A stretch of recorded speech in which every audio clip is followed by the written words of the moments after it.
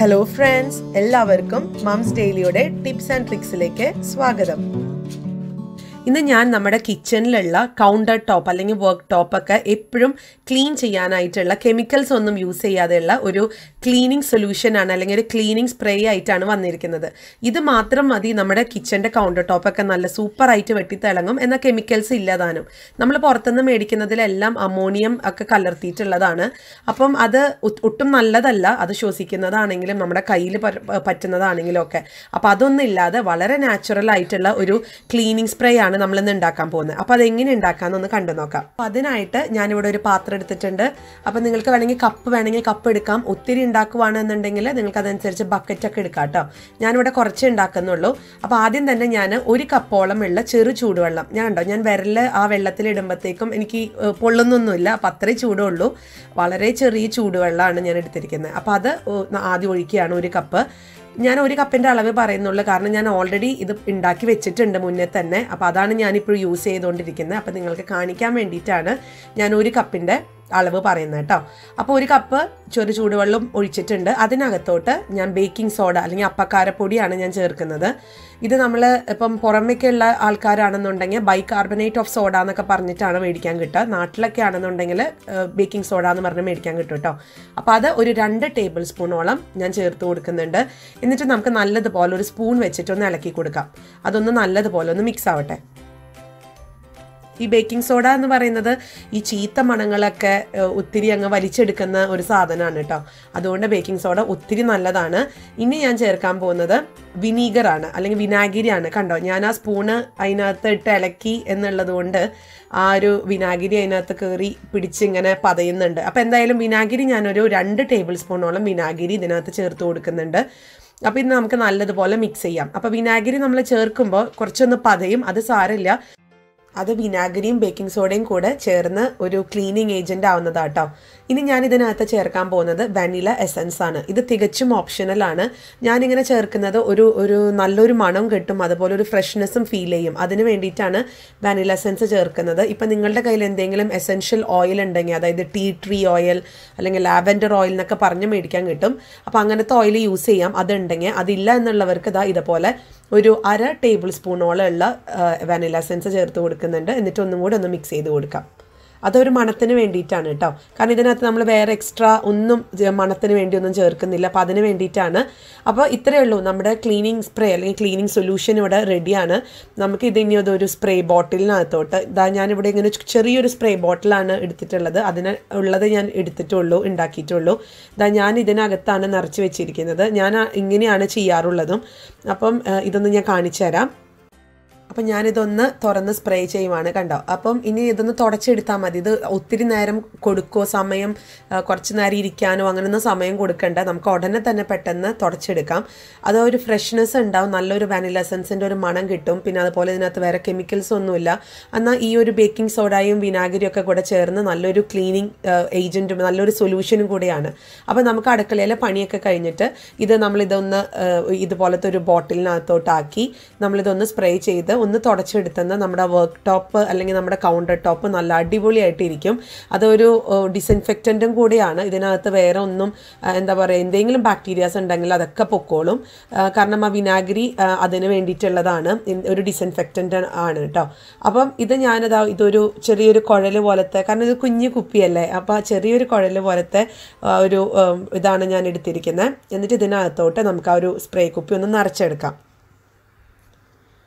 ഇതിപ്പോൾ നിങ്ങൾ ഈ ഒരു കിച്ചണിലുള്ള എല്ലാ പണിയും നമ്മുടെ വീട്ടമ്മമാരുടെ പണിയെല്ലാം കഴിഞ്ഞ് കഴിഞ്ഞിട്ട് ഇതുപോലത്തെ ആ സ്പ്രേ കുപ്പിയിലെടുത്ത് നമ്മുടെ ആ ഒരു കൗണ്ടർ ടോപ്പിലെല്ലാം അടിച്ച് ഉടനെ ഒന്ന് ക്ലീൻ ചെയ്തെടുത്താൽ നമ്മളാ ഒരു ആ ഒരു വർക്ക് ടോപ്പിൽ ഉണ്ടാവുന്ന എല്ലാ ചീത്ത മണങ്ങളും അല്ലെങ്കിൽ എന്തെങ്കിലും അഴുക്കുണ്ടെങ്കിലോ കറയുണ്ടെങ്കിലോ പോലും കറകൾ പോലും ഇതിനകത്ത് പോകും എനിക്ക് ചായക്കറയൊക്കെ വളരെ എളുപ്പത്തിൽ പോയിട്ടുണ്ട്. അപ്പം ഇതിനകത്ത് നമുക്ക് കാണാം ആ ബോട്ടിലിൽ ആ ഒരു ഇപ്പോൾ ഈ ഒരു ബേക്കിംഗ് സോഡയും അതുപോലെ വിനാഗിരിയൊക്കെ ചേർന്നിട്ടുള്ള ആ ഒരു പ്രവർത്തനം അവിടെ നടന്നുകൊണ്ടിരിക്കുന്നുണ്ട്. നിങ്ങൾക്ക് കാണാം അതുപോലെയുള്ള ഒരു പതഞ്ഞൊക്കെ വരുന്നത്. അപ്പം ഇത്രയേ ഉള്ളൂ നമ്മുടെ ഏജന്റ് നമ്മുടെ ക്ലീനിങ് ഏജന്റ് റെഡിയാണ് അല്ലെങ്കിൽ ക്ലീനിങ് സ്പ്രേ റെഡിയാണ് അപ്പം ഞാനിവിടെ കാണിക്കുന്നത് ഞാൻ എന്റെ വർക്ക് ടോപ്പാണിത് അപ്പോൾ ഇതിനകത്ത് ചെറിയൊരു കറ കാണാം. എനിക്കറിയില്ല നിങ്ങൾക്ക് കാണുന്നുണ്ടോയെന്ന് അതൊരു ചായ പാത്രം വെച്ചിട്ടുള്ളതിന്റെ ഒരു കറിയാണ് ഉള്ളത് കേട്ടോ. അപ്പം ഞാൻ ദാ ഇതുപോലെ ഒന്ന് സ്പ്രേ ചെയ്ത് കൊടുക്കുന്നുണ്ട്. എന്നിട്ട് ഇത് ഒന്ന് പെട്ടെന്ന് തന്നെ വൈപ്പ് ചെയ്തെടുക്കുകയാണ് ചെയ്യുന്നത്. അല്ലാതെ ഞാൻ ഒത്തിരി നേരം അത് ഇരിക്കാനൊന്നും സമയം കൊടുക്കുന്നില്ല. അപ്പം ഞാനിവിടെ ഒരു ഫൈബർ മൈക്രോ ഫൈബർ ക്ലോത്താണ് എടുത്തിട്ടുള്ളത്. അപ്പോൾ നിങ്ങളുടെ നിങ്ങൾ എന്ത് ക്ലോത്താണ് യൂസ് ചെയ്യുന്നത് അത് നിങ്ങൾക്ക് എടുക്കാം കേട്ടോ അപ്പോൾ ഞാൻ ഈ ഉപയോഗിച്ചിരിക്കുന്ന ഈ ഒരു ക്ലീനിങ് സ്പ്രേ എന്ന് പറയുന്നത് ഈ ഒരു ഇതുപോലത്തെ വുഡൻ ആയിട്ടുള്ള അല്ലെങ്കിൽ മാർബിളിലോ അല്ലെങ്കിൽ ഗ്രാനൈറ്റിലോ പറ്റില്ല കേട്ടോ ഇത് ഈ ഒരു വുഡൻ വർക്ക് ടോപ്പിൽ മാത്രം ചെയ്യാൻ പറ്റുന്ന ഒരു സ്പ്രേ ആണ്. കാരണം നമ്മൾ മാർബിൾ ഗ്രാനൈറ്റോ അല്ലെങ്കിൽ അങ്ങനത്തെ ഒരു കൗണ്ടർ ടോപ്പിൽ നമ്മൾ ഇത് ചെയ്യുന്നില്ല. കാരണം വിനാഗിരി അങ്ങനത്തെ ഒരു മാർബിളായിട്ട് ചേരത്തേ ഇല്ല നമ്മൾ പുറത്തുനിന്ന് മേടിക്കുന്നതാണെങ്കിൽ പോലും ആ ഒരു മാർബിൾ കൗണ്ടർ ടോപ്പ് ഉള്ളവർക്ക് അത് ചേരത്തേ ഇല്ല അത് നിങ്ങൾ അത് നമ്മൾ മനസ്സിലാക്കേണ്ടതാണ്. പക്ഷെ നമ്മൾ കുറേ പേര് അത് ചെയ്യുന്നില്ല. നമ്മളത് പുറത്തുനിന്ന് മേടിച്ച് നമ്മൾ പൈസ കളയാണ് ചെയ്യാറ്. അതുപോലെ തന്നെ നമ്മുടെ മാർബിളും ഗ്രാനൈറ്റും ഒക്കെ ചീത്തയാക്കാണ് ചെയ്യാറ്. അപ്പോൾ നമുക്കിനി മാർബിൾ കൗണ്ടർ ടോപ്പിന് ചേരുന്ന തരത്തിലുള്ള ഒരു ക്ലീനിങ് സൊല്യൂഷൻ അല്ലെങ്കിൽ ക്ലീനിങ് സ്പ്രേ നമുക്ക് ഉണ്ടാക്കാം അപ്പോൾ അതിനായിട്ട് ഞാനിവിടെ ഒരു ഞാൻ ഇത് മാർബിളിന്റെ ഒരു കൗണ്ടർ ടോപ്പാണ് അപ്പോൾ ഇതിന് കുറച്ച് അഴുക്കൊക്കെ ഇരിപ്പുണ്ട് കേട്ടോ. അത് ഒട്ടിപ്പിടിച്ച് തന്നെയാണ് ഇരിക്കുന്നത് അപ്പോൾ ഞാൻ ഇതിന്റെ ഒരു ക്ലീനിങ് സൊല്യൂഷൻ ഉണ്ടാക്കാൻ വേണ്ടിയിട്ട് ഒരു പാത്രം എടുത്തിട്ടുണ്ട്. ഒരു കപ്പ് വെള്ളം അതുപോലെ വനില എസൻസ് പിന്നെ നമ്മൾ വാഷിംഗ് അപ്പ് ലിക്വിഡാണ് എടുത്തിരിക്കുന്നത്. നമ്മൾ വാഷ് ചെയ്യുന്ന എന്ത് ലിക്വിഡ് ആണെങ്കിലും കുഴപ്പമില്ല. ഈ മാർബിളിൽ ഒരിക്കലും നമ്മൾ ഈ ഒരു നാരങ്ങ വെള്ളമോ വിനാഗിരി ഒന്നും ചേർക്കരുത്. അതൊക്കെ ഒരു ആസിഡിക് ആയിട്ടുള്ള സംഭവങ്ങളാണ് അത് ഈ ഒരു മാർബിൾ എന്ന് പറയുന്നത് വളരെ സോഫ്റ്റ് ആയിട്ടുള്ള ഒരു കല്ലാണ്. അപ്പോൾ നമ്മൾ ഇതൊക്കെ ചേർക്കുമ്പം ഈ കല്ല് ഭാവിയിൽ പൊടിഞ്ഞു പോകാൻ സാധ്യതയുണ്ട്. അതുകൊണ്ടാണ് പറയുന്നത് ബ്ലീച്ചോ അല്ലെങ്കിൽ ആസിഡിക് ആയിട്ടുള്ളതൊന്നും ചേർക്കാൻ പാടില്ല എന്നുള്ളത്. ഒരു കൗണ്ടർ ടോപ്പിൽ മാർബിളിന്റെ കേട്ടോ. അപ്പോൾ ഇതിനായിട്ട് ഞാനൊരു പാത്രം എടുത്തിട്ടുണ്ട് ക്ലീനിങ് സൊല്യൂഷന് അപ്പോൾ ആദ്യം ഞാൻ ഒഴിച്ചത് ഒരു കപ്പോളമുള്ള ചെറു ചൂടുവെള്ളം തന്നെയാണ്. പിന്നെ ചേർക്കുന്നത് ഒരു അര ടീസ്പൂണോളം ഉള്ള വാഷിംഗ് അപ്പ് ലിക്വിഡാണ് ചേർത്തിട്ട്. അത് എന്ത് ബ്രാൻഡാണെങ്കിലും അതും കുഴപ്പമൊന്നുമില്ല. ഒരു അര ടീസ്പൂൺ വാഷിംഗ് ലിക്വിഡ് പിന്നെ ചേർക്കുന്നത് വനില എസൻസ് തന്നെയാണ്. അതൊരു മണത്തിന് വേണ്ടി ചേർക്കുന്നതാണ്. നിങ്ങൾക്ക് വനില എസൻസിന്റെ പകരം ഞാൻ പറഞ്ഞ പോലെ എസൻഷ്യൽ ഓയിലും യൂസ് ചെയ്യാം. അത് നാട്ടിൽ അവൈലബിൾ ആണെങ്കിൽ ചേർക്കാം. അല്ലെങ്കിൽ ഇതുപോലെ അവൈലബിൾ ഇതുപോലെ വനില എസൻസ് ചേർക്കാം കേട്ടോ. ഇനി നല്ലതുപോലെ ഒന്ന് മിക്സ് ചെയ്ത് കൊടുക്കുക. നമ്മൾ സ്പൂൺ വെച്ചൊന്ന് ഇളക്കി കൊടുക്കാം. അപ്പോൾ കണ്ടോ ഒന്ന് ഒന്ന് പതഞ്ഞൊക്കെ വരാൻ തുടങ്ങിയിട്ടുണ്ട്. ഇനി നമ്മൾ നേരത്തെ എടുത്ത പോലത്തെ ഒരു സ്പ്രേ കുപ്പി. അതിപ്പോൾ എല്ലാ സ്റ്റേഷനറി ഷോപ്പിലൊക്കെ അവൈലബിൾ ആണ് കേട്ടോ അങ്ങനത്തെ എം ടി കുപ്പിയൊക്കെ നമുക്ക് മേടിക്കാൻ കിട്ടും. അപ്പം ആ അങ്ങനത്തെ ഒരു ഇത് അങ്ങനത്തെ ഒരു കാലിക്കുപ്പിയാണ്. അപ്പോൾ ഇതിനകത്ത് ഞാൻ ഇതും കുറച്ച് എടുക്കുന്നുള്ളൂ. കാരണം ഇതൊക്കെ ഞാൻ ഉണ്ടാക്കി ബൾക്കായിട്ടാണ് ഉണ്ടാക്കി വെക്കാറ്. അപ്പം അതാണ് എനിക്ക് ലാഭമായിട്ട് തോന്നുന്നത്. അല്ലെങ്കിൽ ഇത് ഓരോ പ്രാവശ്യം ഉണ്ടാക്കണ്ടേ. അപ്പം നിങ്ങൾ ഉണ്ടാക്കുമ്പോൾ കുറച്ചധികം കൂടുതൽ ഉണ്ടാക്കിക്കോട്ടോ. അപ്പോൾ ഇതും ഞാനത് ഒരു ഈ ഒരു സ്പ്രേ ബോട്ടിലിനകത്തോട്ട് ഒന്ന് മാറ്റിയെടുത്തിട്ട് വരാം.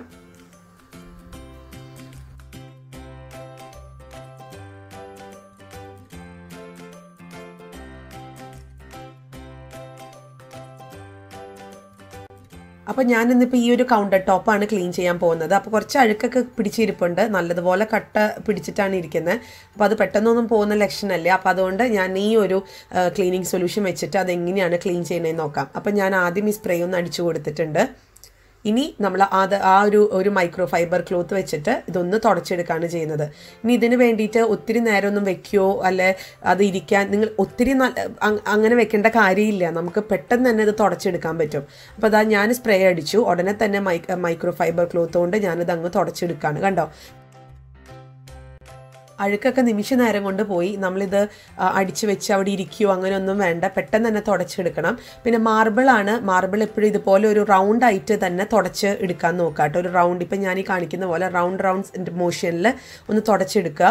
പിന്നെ മാർബിൾ ഒരിക്കലും നമ്മൾ ഒന്ന് തുടച്ച് കഴിഞ്ഞിട്ട് അത് കാറ്റുകൊണ്ട് ഉണങ്ങും എന്ന് ചിന്തിച്ച് ആ വെള്ളം അവിടെ വെക്കരുത്.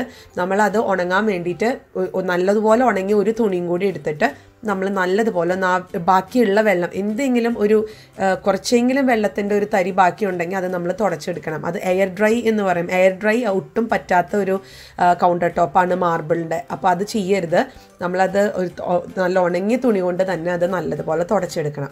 കണ്ടോ? ഇപ്പോൾ ഒരു തരി വെള്ളം പോലും ഇല്ല. അതുകൊണ്ട് കാറ്റ് കൊണ്ട് ഉണങ്ങും എന്ന് ധരിച്ച് മാർബിൾ ടോപ്പിൽ അല്ലെങ്കിൽ മാർബിളിന്റെ കൗണ്ടർ ടോപ്പ് നിങ്ങൾ മാറ്റി വെക്കരുത് കേട്ടോ അപ്പോൾ ഇതാ നമ്മുടെ രണ്ട് ക്ലീനിങ് സൊല്യൂഷൻ ഇവിടെ റെഡിയാണ് വളരെ എളുപ്പമല്ല ഇത് ഉണ്ടാക്കാൻ. അപ്പോൾ നിങ്ങൾക്ക് വേണമെന്നുണ്ടെങ്കിൽ ഇതൊന്ന് മാർക്ക് ചെയ്യാം.